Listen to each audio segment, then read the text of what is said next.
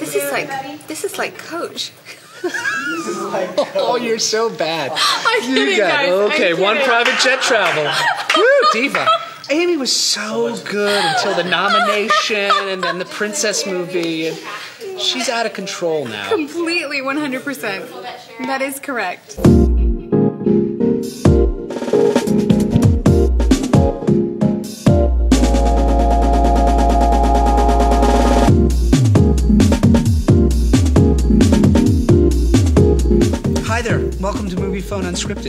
Patrick Dempsey.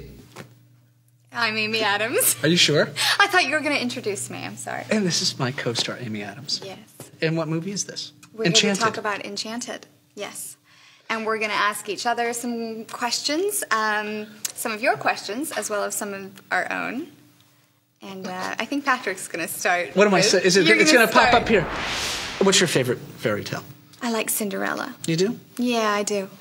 She has a good work ethic. I appreciate a hard-working gal. Okay. good. Yeah, and she likes shoes. She's really Addicted to shoes. she's she's you know the fairy tale's all about that shoe at the end. So Good. I'm a shoe girl. Good. What are your secrets to being a real life Prince Charming? I don't know. How do you answer that question? That's a tough one. Honestly, Okay, thank you. Um, I don't think about that, you know, at all. It's funny how it's come up because of the movie, you know, and I think because of the sort of the whole image at the end where we're dancing and stuff like that, people sort of have that perception of being Prince Charming. so you think white white knickers help? In the boots, I think riding boots really help me feel Riding like a prince. and white knickers. That's Yeah. a good secret. That's my secret. I keep it under all my pants now. Oh, good. Yeah. Just to sort of get you in the mood. Keep It makes me keep feel you- princely. Oh, good. Good, good. I have that white dress under here. So. Yeah, it's good. It's great. Oh, I've okay, here it comes.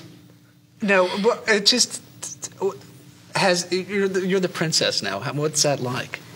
I mean, like, how's that feel? Isn't it kind of surreal? And sort of being part of the whole Disney, Yeah. you know, heritage now. And It's completely surreal. I don't think while we were shooting this that really sunk in. I mean, I didn't. I didn't really think about being um, a Disney princess.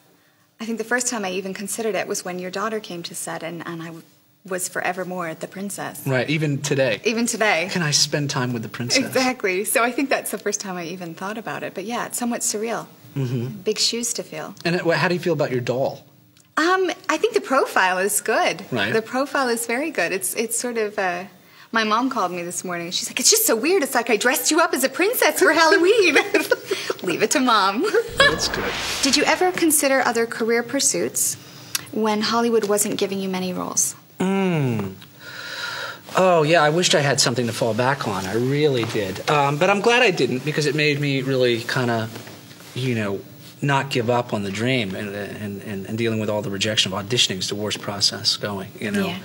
Uh, what did I do to sort of sustain? I think you know I worked on houses and did some remodeling and you know and fix them up and then sell them and do things like that. So it gave me something to look at at the end of the day where I felt like I'd done something that Yeah, was like a sense of worthwhile and justified my existence. So that was. Uh, uh, it was very hard, you know. I took every audition, you know. I just there was like ten years where I auditioned for stuff and wouldn't get anything. Yeah. That's very hard. I know the feeling. Oh, unscripted. Oh, okay. Uh-oh. I've been I've been wanting to ask this for a really long time, Patrick. Uh oh. hmm it's true. I want to know who do you think is prettier, me or Jimmy? now be honest. Jimmy looks pretty good on He's- screen, right? I know, it's The true. cheekbones, the jawline, I knew that beautiful. was gonna be the That's answer. okay.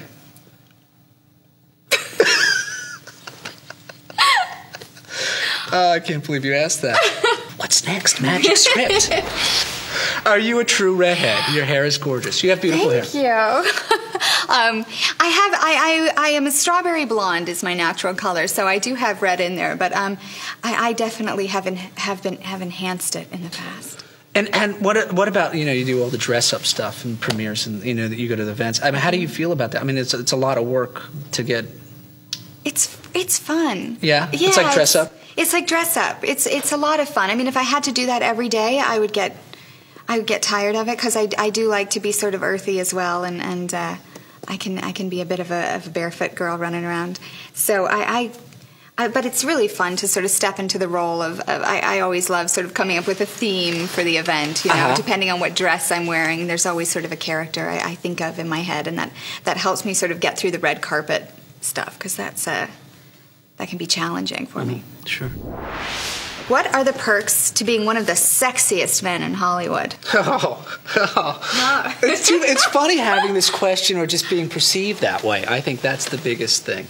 You That- don't I don't feel that way. It's kind of funny. you don't find yourself sexy? I wake up in the morning and I go, God, I really am sexy. I can't help it. It just is.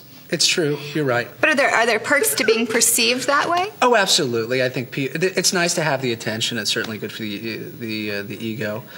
Um, but you know, it's it's it's it's kind of funny. It's all part of I think the machinery and the and the character, Yeah. and how the writer is, is writing it. And um, You don't think that has anything because I think that you bring such such a vulnerable masculinity to roles and and uh, that's breathlessly charming to women. Oh, okay, thank yeah, you. so so I wouldn't put all the credit in the hands of the writers. Okay. No, it's, it's a very nice compliment. Thank you. Yeah, how did uh, growing up in a big family, of six siblings, Mm-hmm. affect your choice uh, choices you've made as an adult?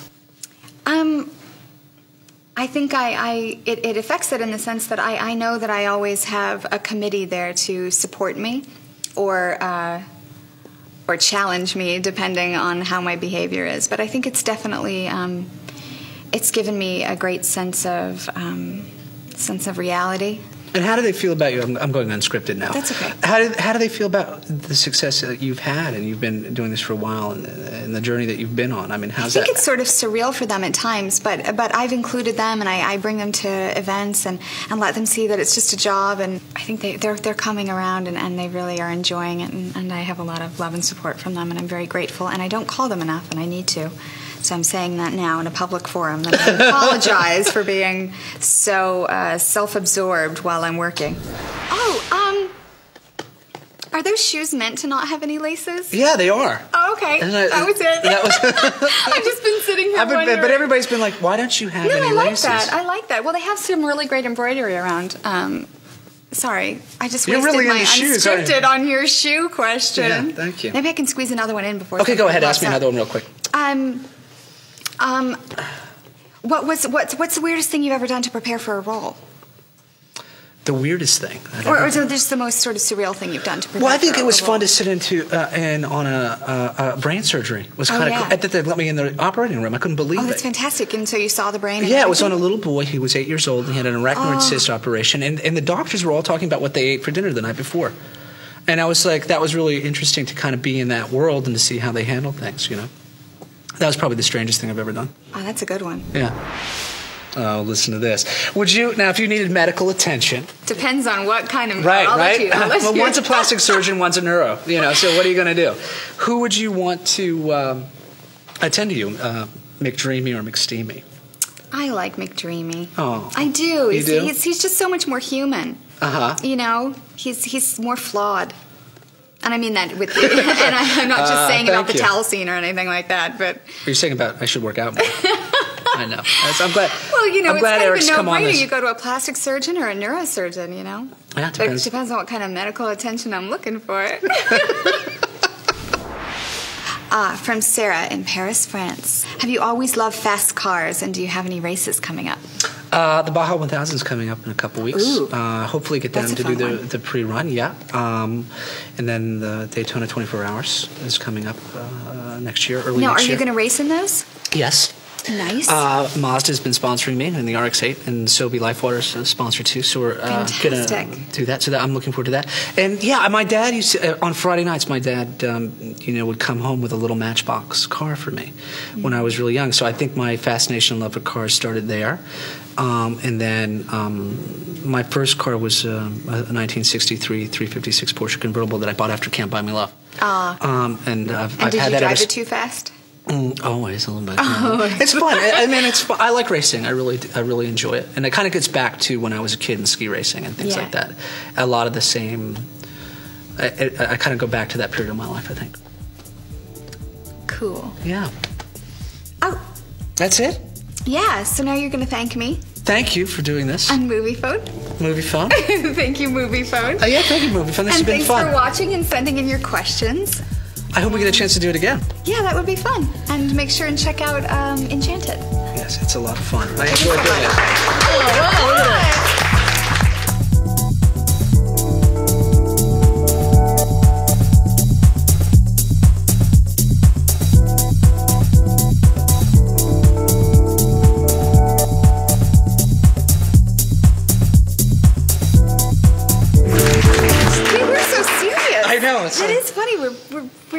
It's kind of like you're my new therapist. I appreciate it. I know. I appreciate how it's like. Well, and then when I was five, I was like,